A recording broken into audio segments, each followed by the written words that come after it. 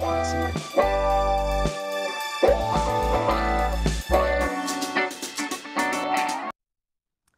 l'affiche Amundi Immobilier et avec nous aujourd'hui son directeur général Marc Bertrand. Marc, bonjour. Bonjour Jean-François. Ça fait presque un an que vous êtes arrivé à la tête d'Amundi euh, Immobilier. Première question toute simple, quelle était la feuille de route?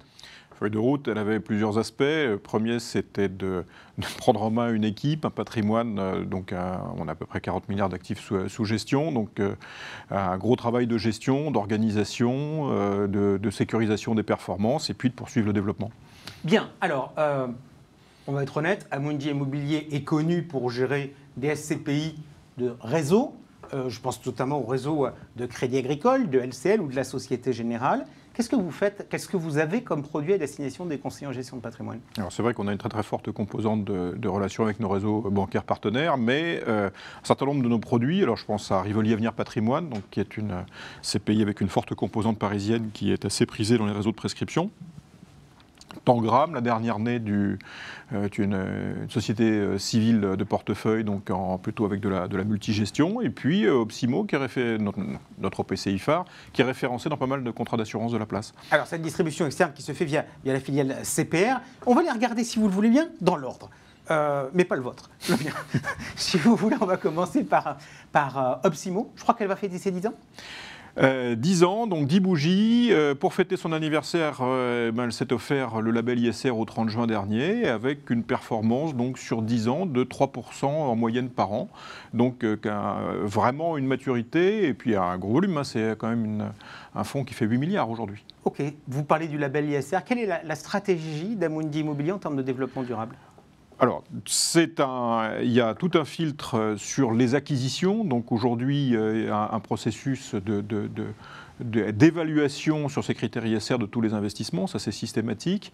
Euh, un processus qui s'applique également pour sélectionner les immeubles dont on souhaite se débarrasser, mais surtout, pour moi, ce qui est le plus central, c'est un processus de gestion qui permet, un, d'évaluer proprement, et c'est compliqué de collecter proprement la donnée sur le patrimoine immobilier qui existe, et ensuite de, euh, d'évaluation de l'état de départ pour le chiffrage de ce qu'il faut pour, euh, pour se, se mettre dans la trajectoire, alors qui des accords de Paris, du décret tertiaire, là, il y a un florilège d'objectifs pas toujours très très alignés sur le sujet, mais pour nous, le nerf de la guerre, c'est de parvenir à avoir une gestion euh, au quotidien d'évaluation des immeubles. Et pour moi, le nerf de la guerre, je vais vous dire, euh, mon client, euh, je ne sais pas si ça, ça, permet véritablement de vendre, de dire qu'on a le label ISR, mais en revanche, ça pose une question quand on entend parler de passoires thermiques et tout ça, on se dit, mais combien ça va coûter en travaux?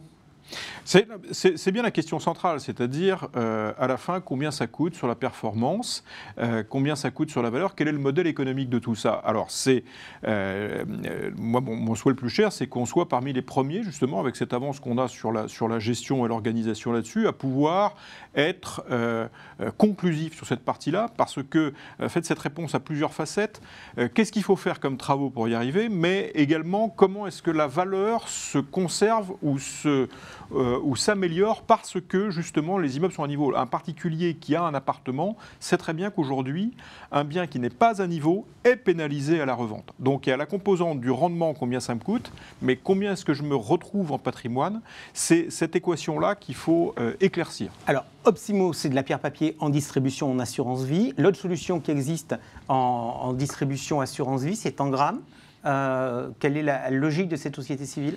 Alors la société euh, Tangram, euh, donc, qui est plus basée sur une stratégie de multigestion, donc il y a un portefeuille de SCPI, mais il y a aussi des, acquisitions, soit dans des, SCI, soit des fonds du marché, etc. Donc il y a, vraiment une, stratégie autonome.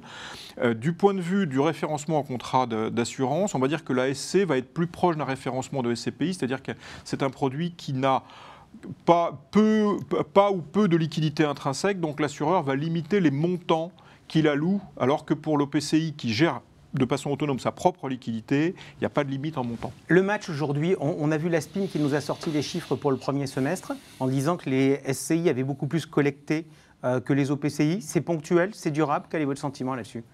Bah, bah, il y, a eu des années où l'OPCI était le moins devant, autre la SCPI. Bon, je crois que d'abord, un, je ne sais pas si c'est un match véritablement, euh, ce qui me paraît une bonne. Enfin, ça, correspond à des appétits de réseaux différents, sans doute à des clientèles plus ou moins sophistiquées.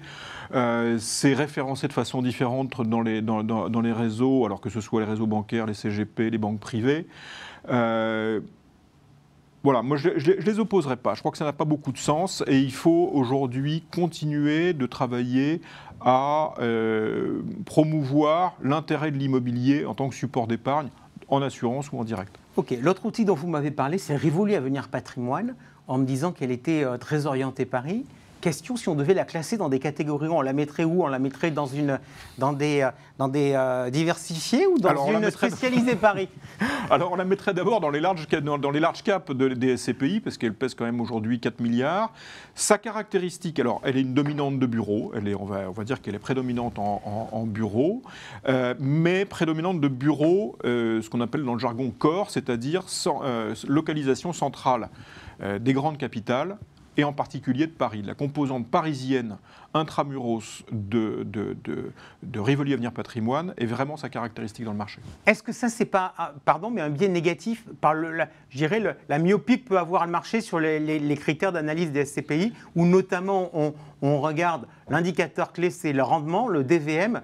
Or, le profil que vous me décrivez, ça a plutôt tendance à avoir des rentabilités un peu plus faibles que le marché, euh, mais éventuellement des valorisations un peu plus élevées. Alors, le marché, je rejoins totalement, il, euh, est très euh, tracté par la distribution de l'année, la, SCPI étant perçue comme un produit qui maximise le rendement sous réserve, sous, sous contrainte de conservation de la valeur du capital.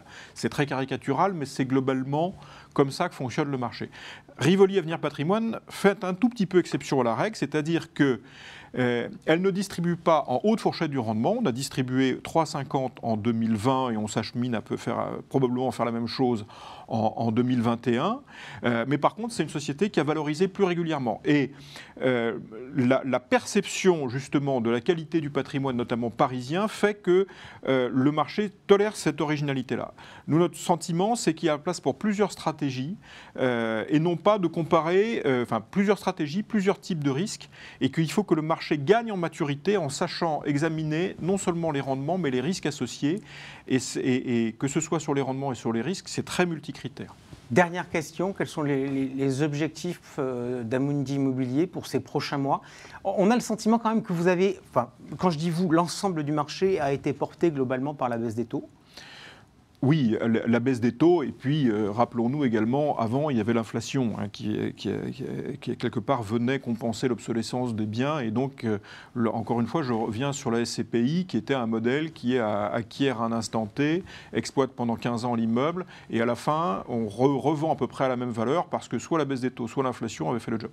Aujourd'hui, euh, on ne va pas pouvoir compter sur ces, deux grandes vagues qui nous portaient gentiment là-dessus. Donc, il faut revenir au plus proche, travailler les immeubles sous l'angle ISR, être plus proche du locataire, produire de l'asset management de terrain, euh, se situer, euh, ne, pas subir le marché, se situer et proposer des services aux locataires. Et c'est là qu'est la clé de la réussite pour le placement de demain. Merci beaucoup Marc Bertrand d'avoir été aujourd'hui à l'affiche. On vous retrouvera dans notre prochain club expert euh, immobilier. Merci à vous d'avoir suivi cette émission et je vous donne rendez-vous le mois prochain pour un